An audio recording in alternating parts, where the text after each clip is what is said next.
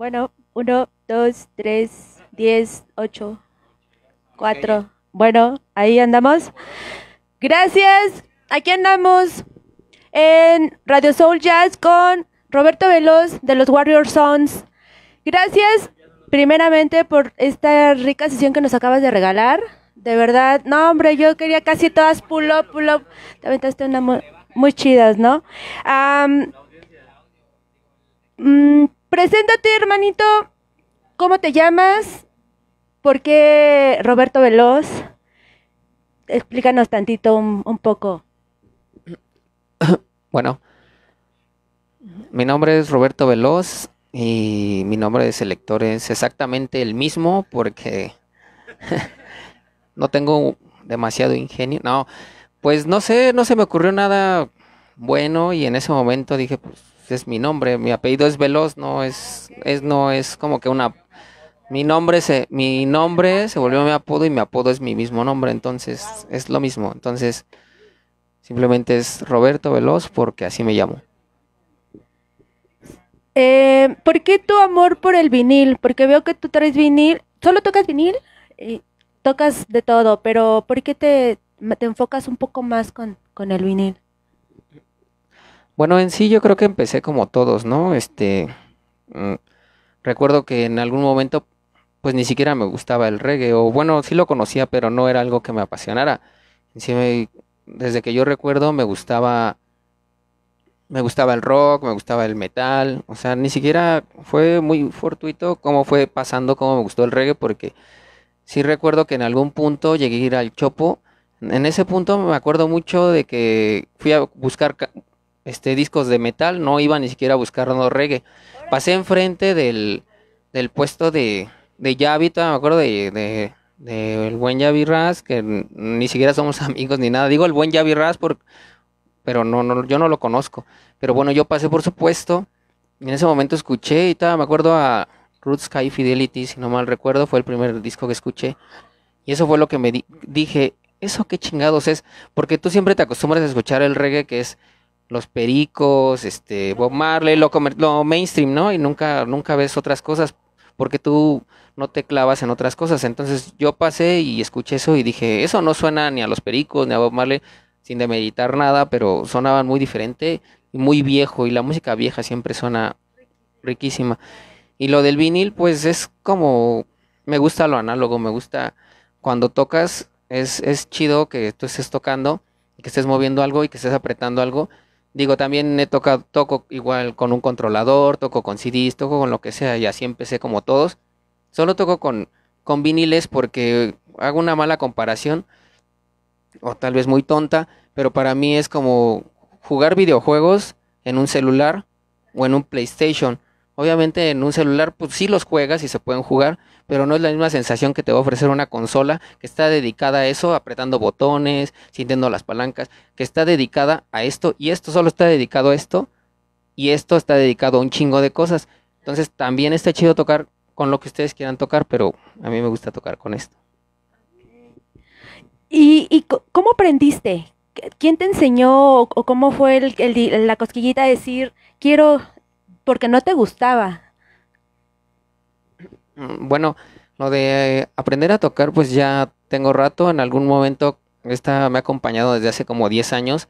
Tenía un par de repros que tocaban CDs.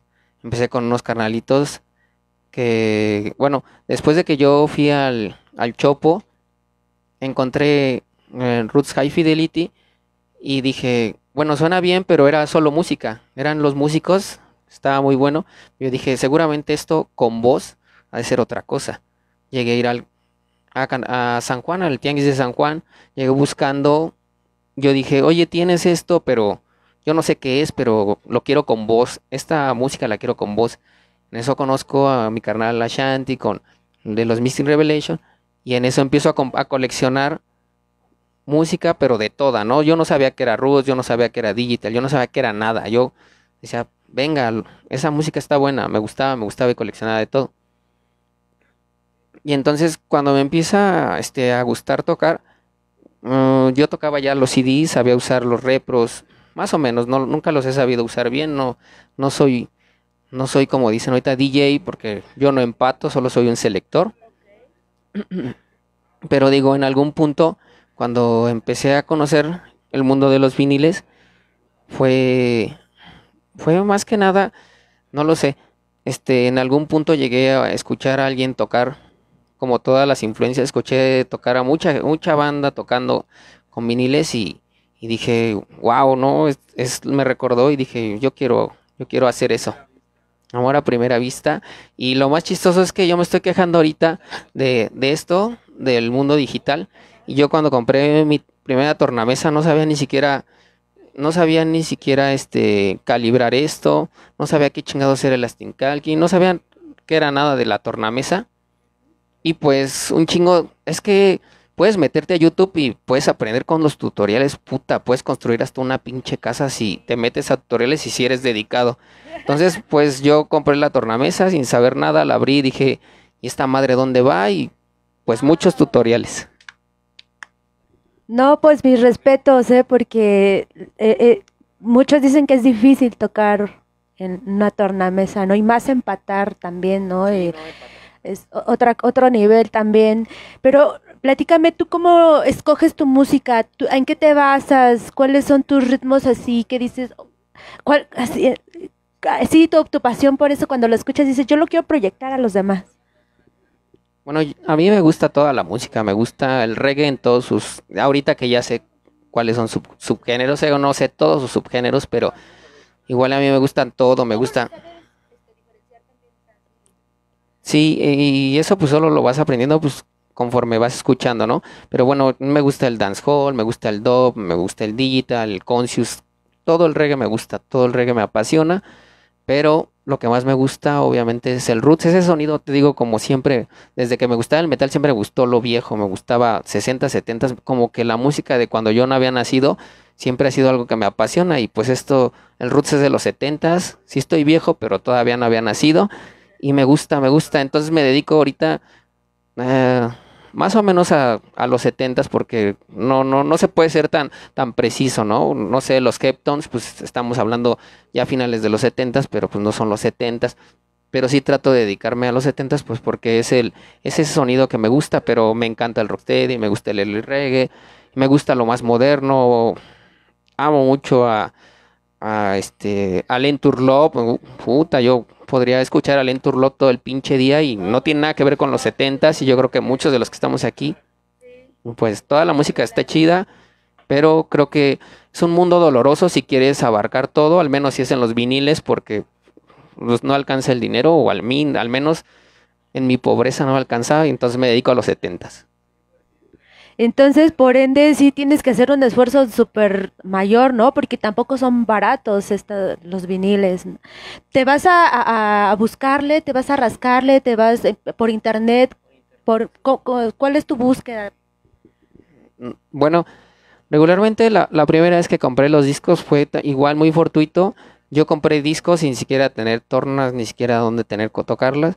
Este, yo ya coleccionaba discos de CD y eh, casualmente en internet encontré un, era una chava, y no, ni siquiera me acuerdo de su nombre y nunca la he vuelto a ver, pero ella me dijo, vendo una colección, eran alrededor de 12 discos entre 45 y, y LPs.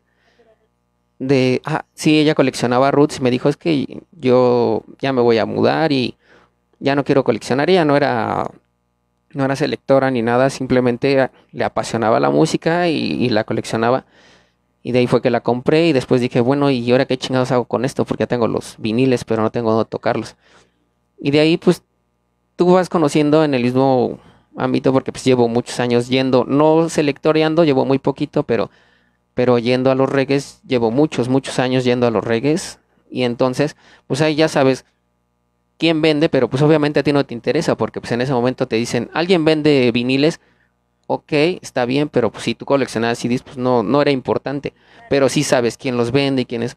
Entonces, pues sí, sí tengo saludos a Music City Discos, a Deco Sound y a muchos este, dealers de, de viniles que, que, son los que siempre nos andan surtiendo. Y, y pues en eBay, Amazon y, hasta varios carnalitos que, que, que no se dedican solo a, a vender viniles, sino que pues a veces es por una necesidad de venderlos y pues ellos se los compro. Perfecto, perfecto, mi Roberto Veloz. Eh, tus proyectos a futuro, ¿qué tienes planeado como persona, como selector, como en el ámbito del, reggae, de la escena del reggae? ¿qué- ¿Cuáles son tus aspiraciones? Mm, bueno, creo que la, la primera vez que yo entré a tocar aquí, me, bueno, en- yo empecé a tocar cuando empecé con los, bueno, yo ya empecé, había puesto algunas veces música con, con mis otros hermanitos de, del Mystic, pero nunca me dediqué como tal a, a yo quiero tocar porque mm, pues, me gustaba creo que más la fiesta o más estar abajo, o no tenía broncas. Cuando me empiezo a dedicar y digo yo quiero tocar, bueno, conozco a mis carnales de Mystic Revelation y pues fue gracioso porque yo según iba a ir a tocar otro lado, lle- llego tarde con mis CDs y, y pues ya no toqué. Entonces me voy a Studio One, dije, bueno, pues si ya no toqué, pues me voy para allá, ¿eh? voy a tomar unas cervezas. Y en eso me encuentra mi carnalito Victorio que está aquí. Y le digo, oye, traigo unos CDs, ya se estaba acabando la fiesta, ya había poca gente. Dije, si igual y si se puede, me gustaría poner unas canciones.